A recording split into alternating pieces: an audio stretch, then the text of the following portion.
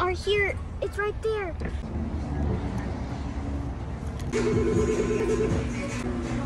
The bombs. We'll, we'll try it. Donuts. Jeez. that was not good enough. I'm gonna try this. Took me back to Mexico. What do you think of the the strawberry iced one? This one is the fancy stuff. Rate it a one or ten. Um, a 10.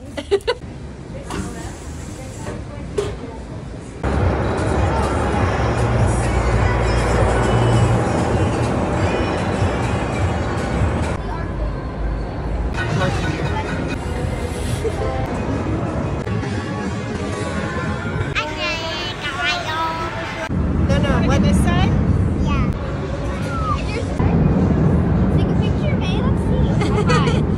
Can I go next? Can I go next for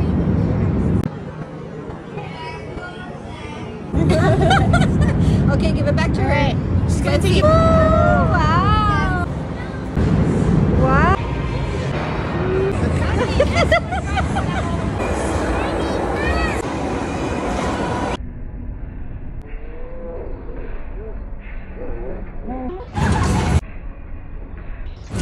I'm just going to interject here to say that we went to Tacos El Gordo after the Circus Circus and it was so good. We didn't take hardly any pictures, but these two clips here.